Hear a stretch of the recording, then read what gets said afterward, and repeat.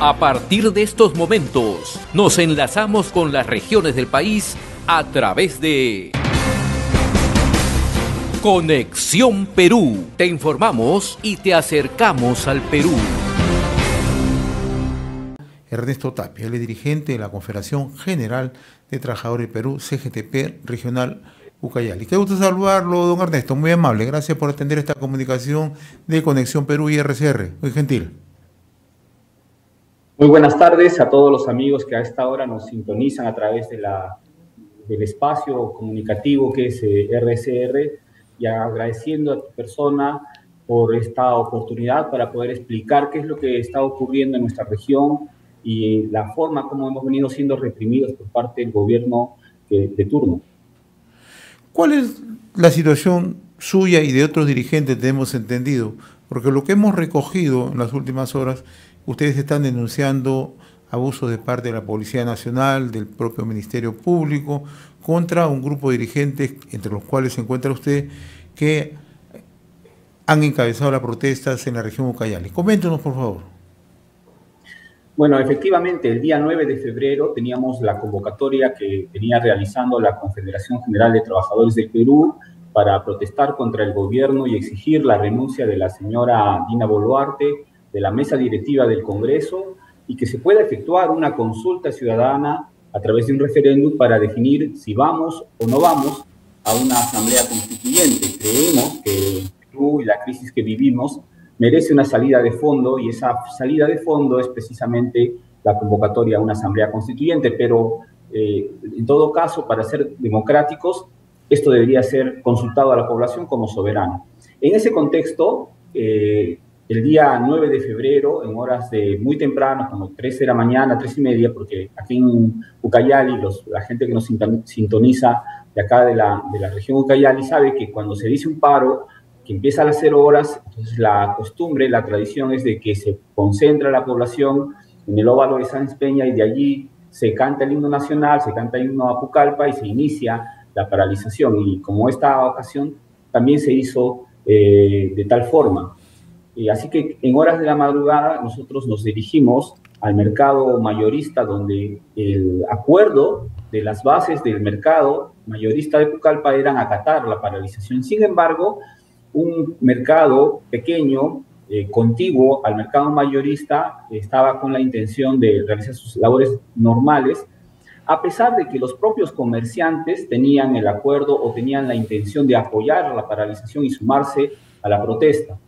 Por eso es que nos dirigimos allí para conversar con ellos. Así lo hicimos, eh, conversamos de manera muy fraternal y respetuosa y llegamos a la conclusión de que ellos también se iban a incorporar al paro eh, por un acuerdo de ellos, de este, este mercadito participando, y eh, en ese contexto es que la policía, eh, de manera sin mediar ninguna advertencia ni cosa por el estilo, deciden arremeter contra los trabajadores que nos encontrábamos allí y intentar en un primer momento y después lo consiguen mi detención, ¿no?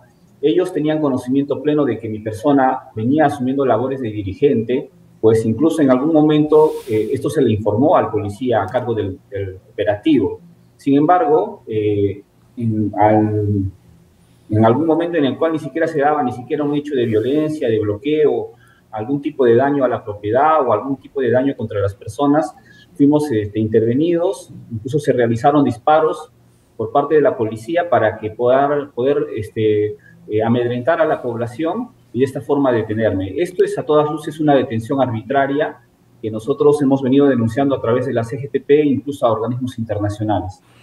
La situación suya de manera particular, ¿cuál es su situación en estos momentos, señor? El día de la detención eh, se me trató de involucrar por hechos que son totalmente falsos, que han sido consignados en el acta de, la policía, que son totalmente falsos y que además se va a demostrar que es así la Fiscalía eh, intentó de alguna manera poder vincular la participación en la protesta en un tipo de criminalidad organizada, cosa que es totalmente descabellada y que atenta contra el derecho constitucional a la protesta.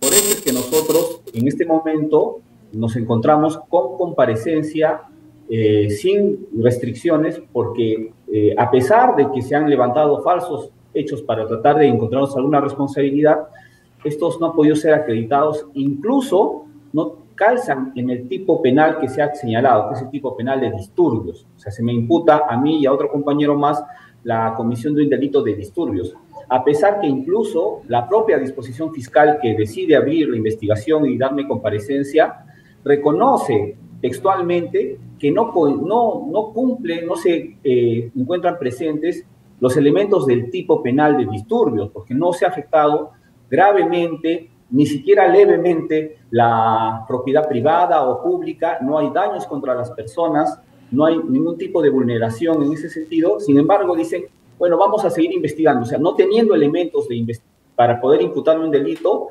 eh, la fiscalía simplemente dice, bueno, vamos a seguir investigando, a pesar de que incluso no cumple el tipo penal que en, el, que en, este caso se nos está imputando, que es el tipo penal de disturbios.